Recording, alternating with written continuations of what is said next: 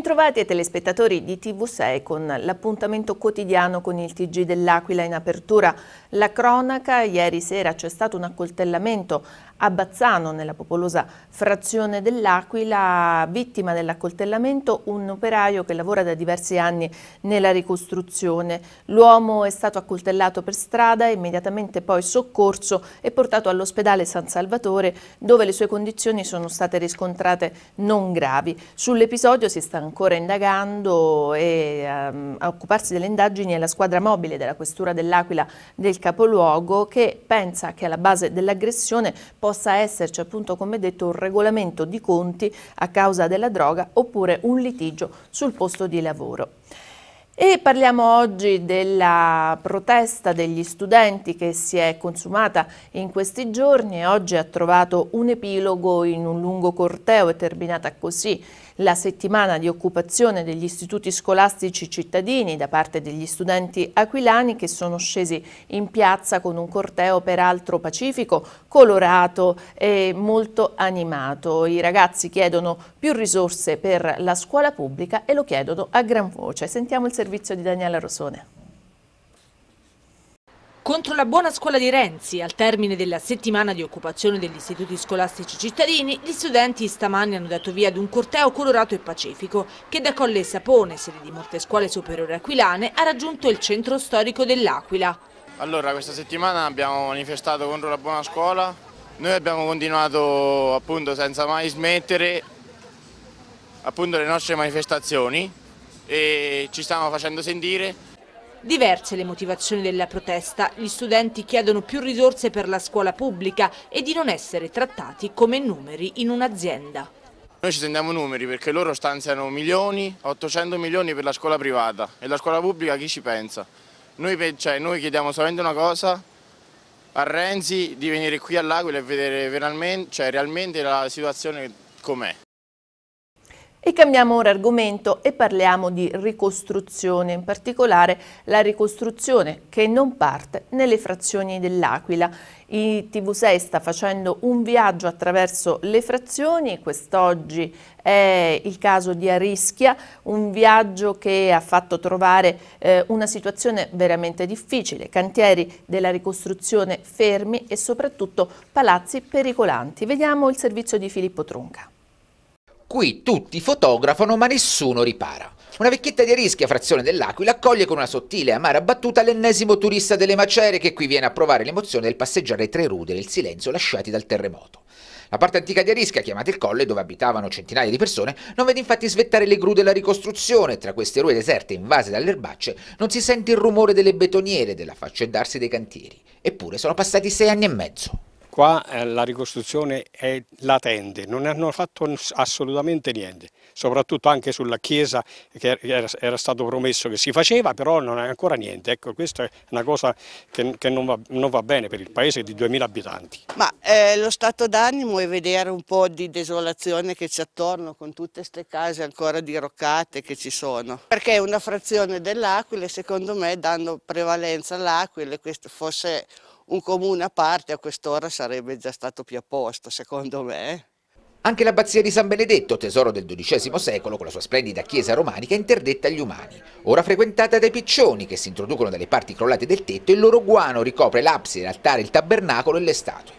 A camminare per queste strade deserte diventa ora anche pericoloso. Lungo una delle vie principali aperte al traffico delle auto, infatti, il palazzo comunale del Seicento è a rischio crollo. Qui ci troviamo sull'antico corso del paese e questo è il palazzo comunale, il vecchio palazzo del comune.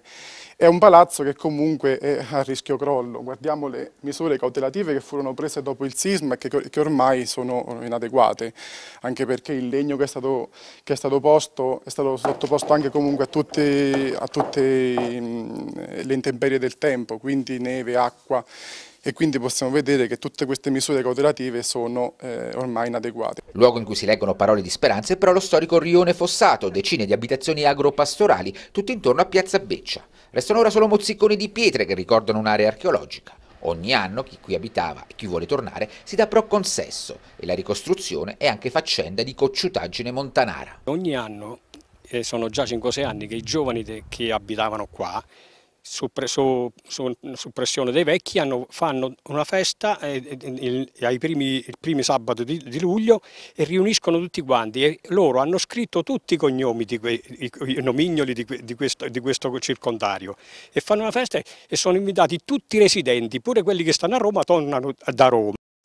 E oggi ricorre un'altra data importante all'Aquila, i 70 anni di ANCE, l'Associazione Nazionale Costruttori Edile che ha festeggiato eh, questi 70 anni di attività tra tante difficoltà comunque anche derivate dalla ricostruzione post terremoto ma eh, tutta la compagine dell'ANCE si dice ottimista ed anche il presidente Frattale in particolare eh, è ancora pronto a portare avanti il lavoro duro che aspetta ancora i costruttori edili. Intanto è stata realizzata una scultura per la città che è stata posta in una rotatoria di Viale Corrado IV. Vediamo il servizio di Daniela Rosone. Era il 15 aprile del 1945 quando dieci padri fondatori decisero di unire le forze dei costruttori edili locali per formare un sodalizio che sostenesse la crescita della categoria. 70 anni di ANCE dal 1945 ad oggi, con nove presidenti che si sono passati il testimone, sino all'attuale Gianni Frattale. Ma per i costruttori è un momento di grande festa, di gioia, di ottimismo, di speranza, anche per quanto riguarda diciamo, la città, il territorio, di speranza per la ricostruzione e per vedere rientrare diciamo, tutti i cittadini. Questo è l'augurio che fa l'ANCE. Dal 1945 ad oggi tanti scenari sono cambiati, si parlava di ricostruzione anche allora, ma era quella post-bellica. Poi il boom economico, l'importante ruolo dei costruttori, l'assistenza alle imprese e la ricostruzione di oggi, dopo il terremoto. Oggi in provincia dell'Aquila operano 2.000 imprese che danno lavoro a oltre 15.000 addetti.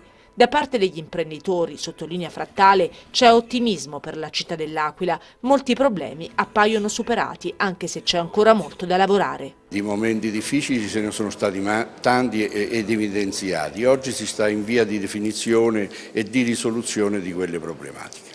L'Ance ha donato una scultura alla città a ricordo di questi primi 70 anni, installata nella rotatoria della Rotonda all'imbocco di Viale Corrade IV alle porte della città una scultura realizzata dall'artista aquilano Adolfo Giusti, un'opera interamente di bronzo.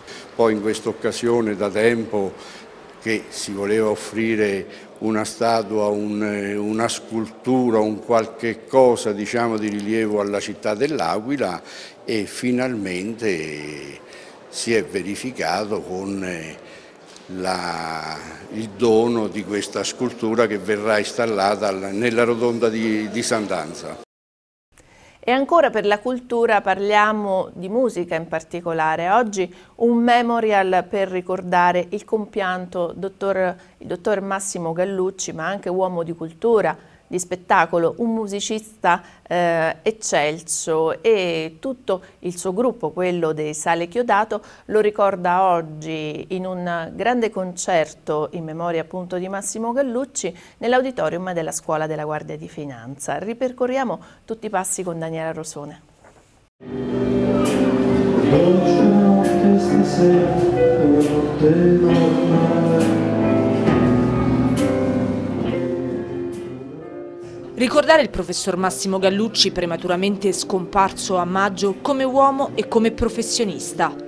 È l'obiettivo del primo memorial a lui intitolato, che si terrà sabato 17 ottobre presso l'auditorium della Scuola Ispettori e Sovrintendenti della Guardia di Finanza dell'Aquila, evento organizzato dall'Associazione Culturale Teatro Immagine, dal Laboratorio Dietro le Quinte e dal gruppo Sale Chiodato. Il professor Massimo Gallucci ha lasciato un vuoto incolmabile per le straordinarie qualità e la complessità della sua figura, medico radiologo interventista presso l'ospedale San Salvatore dell'Aquila, professore ordinario di neuroradiologia presso la facoltà di medicina, padre fondatore dell'Associazione Italiana di Neuroradiologia. Ha scritto centinaia di pubblicazioni scientifiche, ma anche romanzi, testi letterari di canzoni e poesie.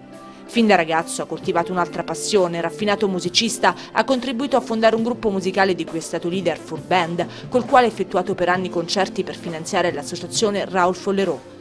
Successivamente, dai primi anni 2000, è stato cofondatore del gruppo Sale Chiodato, insieme ad altri medici, col quale sino all'ultimo, con grande energia, ha effettuato concerti e ha pubblicato dischi. Ed è cominciata oggi e andrà avanti per tutta la giornata di domani il raduno provinciale dei Bersaglieri, sezione Santa Maria, nel capoluogo abruzzese. In particolare domani alle ore 9 a Piazza Battaglione degli Alpini, mm, per meglio intenderci alla Fontana Luminosa, ci sarà la partenza della pattuglia ciclistica storica dei Bersaglieri scortata dalle auto e dalle moto d'epoca. Poi ancora a seguire, intorno alle 10, ci sarà una sfilata lungo il corso e l'arrivo alla villa comunale dove i bersaglieri renderanno omaggio ai caduti ma dove sicuramente si esibiranno nel classico folklore di questo corpo. Ci spostiamo ora al calcio per parlare dell'Aquila Calcio. Tra pochi minuti infatti eh, inizierà la gara esterna dell'Aquila Calcio contro il Tutto Cuoio, una sfida, ricordiamo, importantissima per i ragazzi rossoblù che ha l'obiettivo, naturalmente dopo quattro sconfitte, di portare a casa tre punti. I dettagli di questa partita, di quello che aspetta l'Aquila nel servizio di Gianmarco Menga. Vediamo. Ultima chiamata per rinascere. Tutto cuoio l'Aquila non sarà una partita come le altre per i rossoblù aquilani, chiamati ad una reazione dopo ben quattro sconfitte consecutive e con la voglia di dare un calcio a polemiche e negatività. Non sarà facile a Pontedera sul campo del tutto cuoio, a caccia di punti proprio come gli aquilani.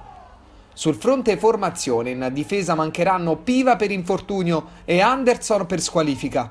Per questo motivo il tecnico Carlo Perrone potrebbe passare dal 4-3-3 ad un inedito 3-5-2 con Bigoni nel trio difensivo assieme a Maccarrone e Sanni e con Di Mercurio e Triarico sugli esterni.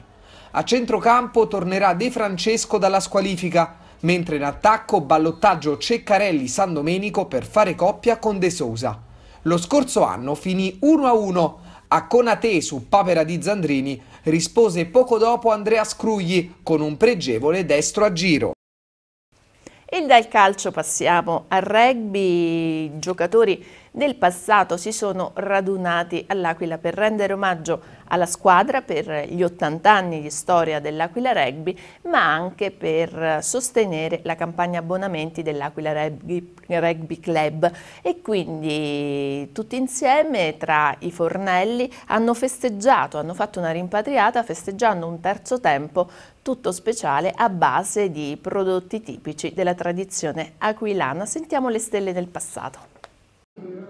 È stata una bella serata, chiaramente, e cerchiamo di dare un sostegno morale e spero oltre a questi ragazzi che, che iniziano questo campionato, che hanno appena iniziato il campionato. Queste occasioni sono per rivedere un po' di antichi vecchi compagni di squadra e soprattutto conoscere questi nuovi che, che effettivamente conosciamo poco. Tutto quello che possiamo darlo lo, lo diamo attualmente il gioco poi è un po' diverso, l'ambiente è diverso, la mentalità è diversa, però il, il, rugby è sempre abbastanza simile pure ai tempi nostri. Vedi, prima avevamo, ci divertivamo veramente con poco probabilmente, avevamo gli allenamenti, ci vedevamo prima, dopo gli allenamenti, ogni trasferta era una gita scolastica, eh, non era, adesso se sali su un autobus del rugby stanno tutti con le cuffiette. Noi cominciavamo a giocare a whist, si giocava, eh, da, da, dove partivamo? Normalmente dal bar, dal bar Scadaglini o dal Vicolaccio dove c'era la sede. E, e finivamo quando arrivavamo a Padova, a Rovigo e per concludere parliamo di basket perché domani un altro incontro per la Serie C alle ore 18 alla Pala Angeli per i ragazzi nel nuovo basket aquilano che ospiteranno la capolista Termoli. Questa è la quarta giornata di campionato, i ragazzi scenderanno in campo un po' decimati, privi dei due migliori marcatori del, um, del campionato, Federico Granato e Lorenzo Carosi, ma comunque nonostante le assenze pesanti i ragazzi hanno comunque attrezzato una squadra che cercherà di soddisfare il numeroso pubblico che riempie ogni domenica il Pala Angeli. Quindi ricordiamo l'appuntamento con il nuovo basket aquilano per l'Aquila Termoli e per domani, domenica, alle ore 18 al Pala Angeli. Bene, con questa notizia è tutto per il nostro TG dell'Aquila. A me non rimane che ringraziarvi della cortese attenzione e invitarvi a rimanere sintonizzati con i programmi della rete. A presto!